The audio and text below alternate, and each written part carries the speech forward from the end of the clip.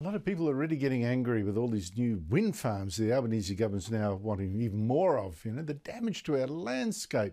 So the government says, well, look, it wants more wind farms now built offshore instead, like off the coast of the Hunter region, where you actually get whales. But Energy Minister Chris Bowen last week said, oh, don't worry about them and whales and fishing coexist in various ways around the world with offshore wind. You know, some people think whales can't exist with offshore wind. Well, whales exist now with cargo ships and with oil rigs and with gas rigs and with offshore wind, wind around the world. But is that true? Because last weekend another dead whale was found on America's eastern coast. That's the 60th since December 1. And a new documentary this week called Thrown to the Wind points blame at the many, many new offshore wind farms off that coast. I saw another whale had washed up. It's becoming a pattern. Is it the windmills? Is it the pounding of the seafloor? How many whales is it going to take? There aren't many places where the North Atlantic right whale can go. It's destined to extinction. It sounds like they're like oh, it's like pile driving.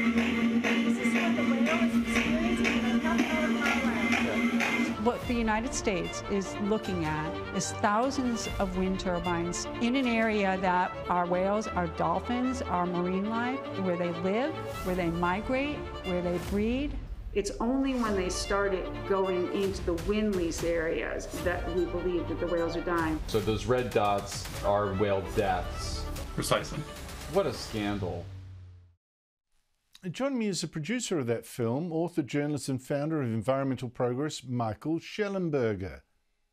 Michael Shellenberger, thank you so much for your time. We've had environmental authorities, particularly in the US, say, well, no, um, you know, wind towers, wind turbines at sea, they, they don't cause whale deaths.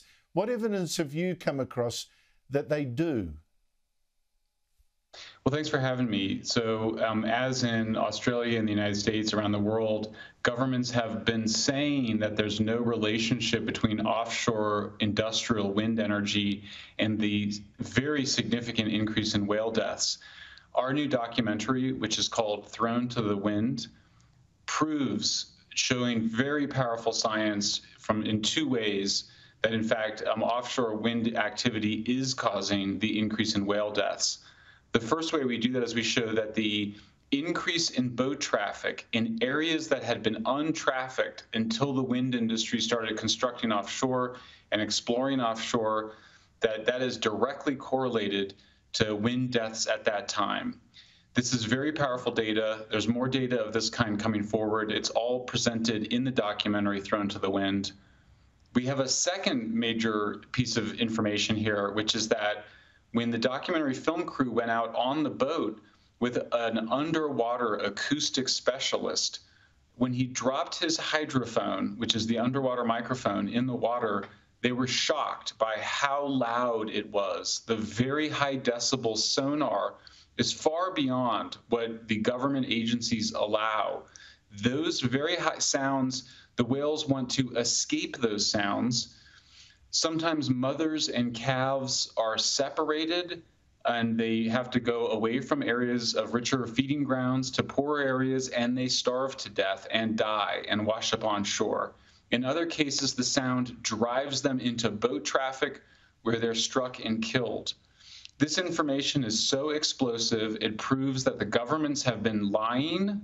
They've either not been doing the research they said they would do, or if they have done the research, they've been covering it up.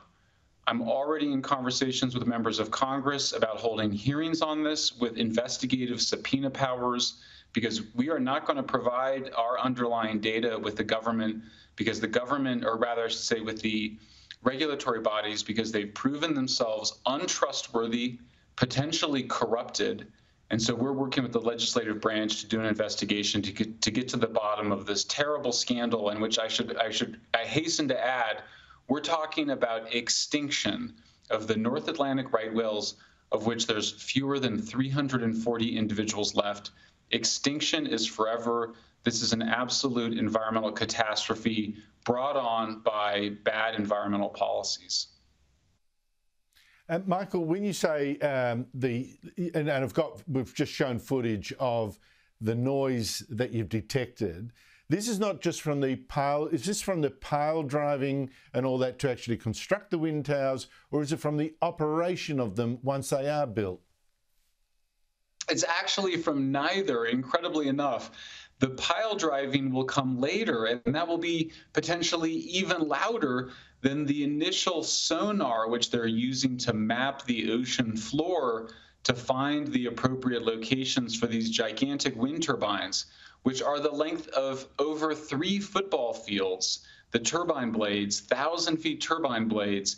So, the, so this disruption that we're seeing is simply trying to find where to place the turbines. It's not even with the construction of the turbines, nor with their operation. So this is really shocking. I mean, we can't lose a single additional female whale or there is risk of, of species extinction for this species. This is, it's shocking. There's already, we shouldn't have had to do this. There were already scientists, the top American scientists in the in the government agencies themselves, themselves had been warning of this repeatedly in open letters, and it was there was media publicity about it. It's all been ignored. The Biden administration has been forcing this project. There's a lot of sh- really shameful behaviors uh, are behind this, and we intend to get to the bottom of it and demand accountability and an end to these projects which are killing whales directly.